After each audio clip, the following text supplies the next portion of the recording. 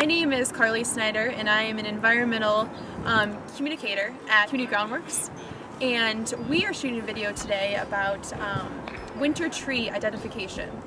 So I'm here with Brian and he'll introduce himself.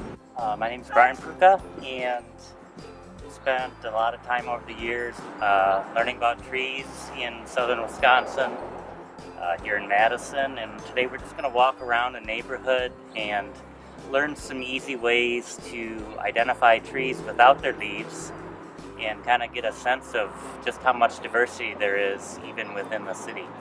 So we're going to start with, we've decided, see that tree over there? I'm going to say it looks like it's got a bunch of string beans on it.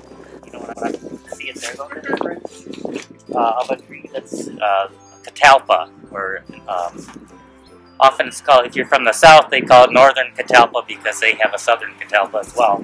But it's a, a fairly uh, common city tree. A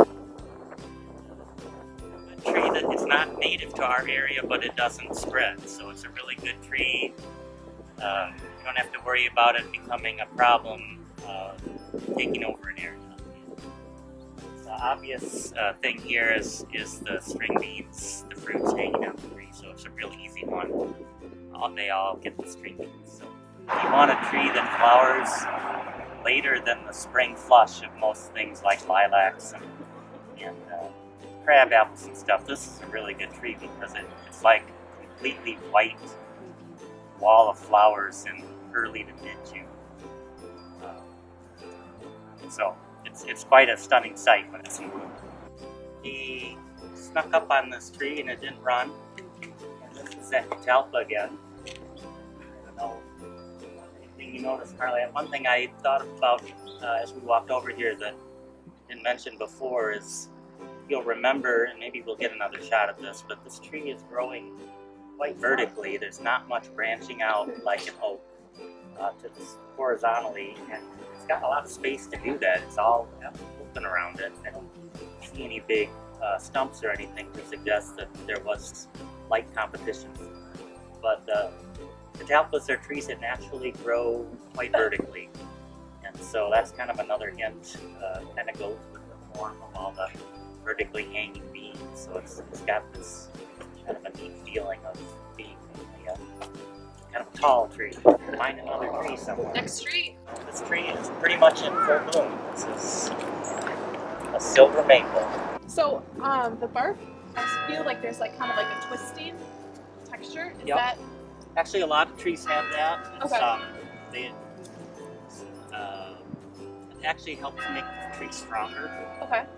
It's oh, not. It's less likely to break if it's got kind of a twist in the. So you see that a lot of trees have that. A lot of species. Um, this is a really big example of a silver maple. They get really big. One of the. I'm trying to. Well, let's focus on identification first. We'll talk a little bit about why you might or might not want them in a certain part mm-hmm. of your yard. But um, the bark is really, I don't know how you, what you think, how you describe it. It's very strippy. Mm-hmm. Okay, it's very kind of strippy and flaky. Yeah. And I almost have to step back. I don't know if anybody can see this, but maybe we'll have to see a few examples. But it's often kind of a pinkish color in some of the underbark here it looks more orangey on this tree. Um, I feel like right in here almost. And if you're standing probably where you're filming back there, it's actually more obvious than it is to us standing right next to it. Um, but sometimes at, at, a distance you'll see it and you just kind of can sense that there's a pink or an orange pinkness uh, undertone. This tree does grow really fast and it's one of these ones that uh, breaks easily once it gets pretty big. So that's kind of a downside if it's right next to your house. But if you want a tree that grows fast, produces great shade, and that's so beautiful in the spring, it's a it's a really beautiful tree. Generally, they plant themselves. All right, I guess we're gonna go somewhere else. We're kind of headed towards the zoo. And, uh, Let's head to the next one. Okay. So this is a Siberian elm tree? Yes, Carly picks out kind of a tough one for you guys, but it, it looks, it is very unique looking, so we're gonna do it. Elms are kind of tough in the winter, um, but you were noticing, I mean, what caught your eye about this tree? I noticed the branches just are really fine and thin, and it almost looks like I thought of like veins. Like they're very thin, and there's so many of them coming up from the main branch. Yeah, and that really is a uh, a main clue if you're up close to a Siberian elm. Is if you look at these branches, I mean, they're they're so thin, and you can see these knobs on them right now, and uh, those are the flower buds, and they'll be coming out in a couple weeks. But compared to all the other elms, uh, those branches are so thin, and they look right now they're at their peak kind of noticeableness, or during the winter. Um, and we're kind of just heading into spring here. Obviously, we had that one tree flowering before, if you saw that. Uh, up close, that's probably your best clue. Um, you knew all the different kinds of elm bark, I would tell you that this one is more knobby than American elm or slippery elm.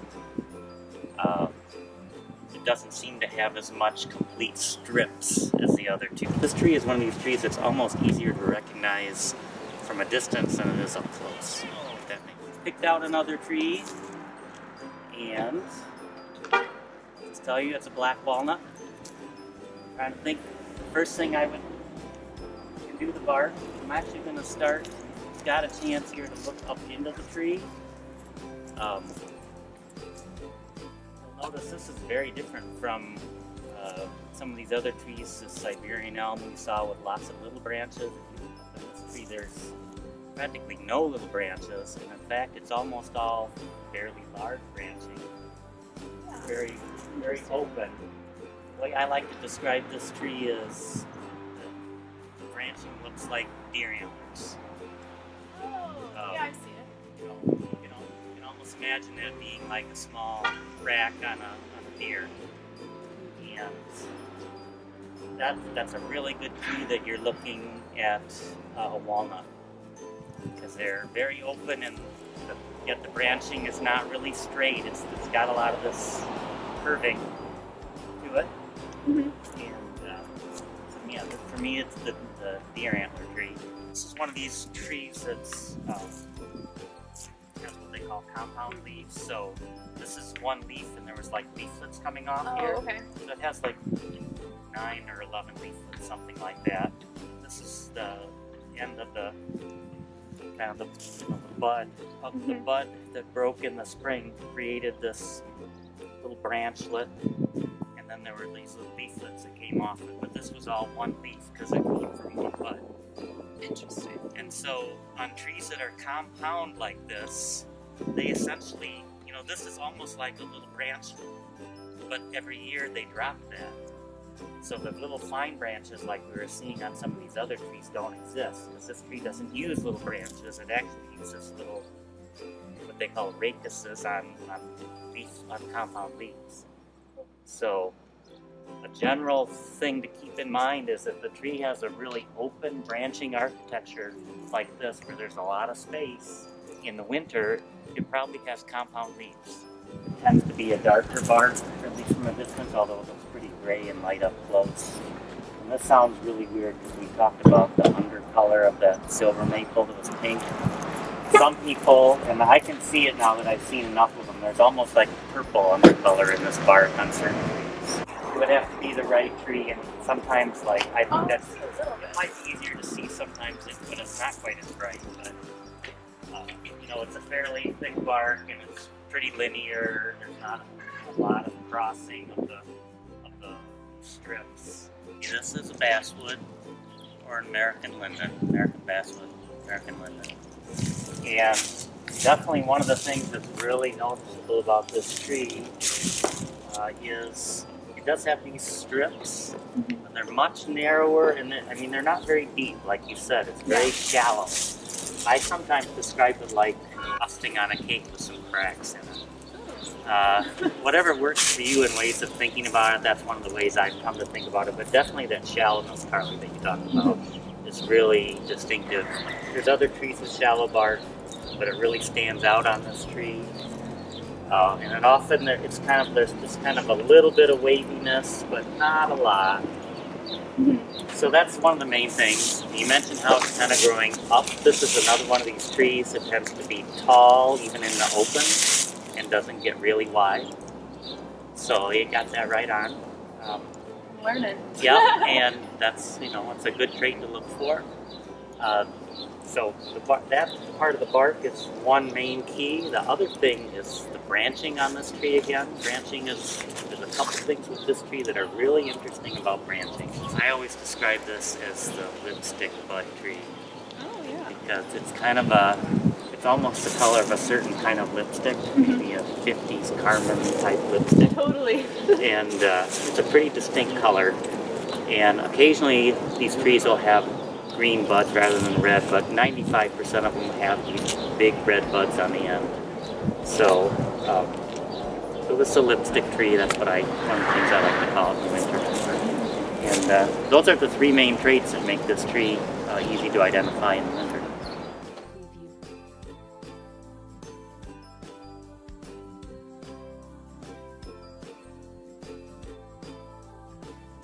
At Bear Mountain Park now, and I love this place because of the huge oak trees. Um, so maybe we can talk a little bit about different varieties. see a tree like that that's extremely coarse. Uh, it has pretty coarse branching. It's not a compound leaf tree, but it does have quite coarse branching, and especially if it's spreading out like this, and then has this really thick bark we're going to look at, the suburr oak. And it's probably uh, in the in the wilds around Dane County, it's the most common tree. And there's still tons of them around Madison, but most of them are these old ones that you know, these trees are at least 100 years old.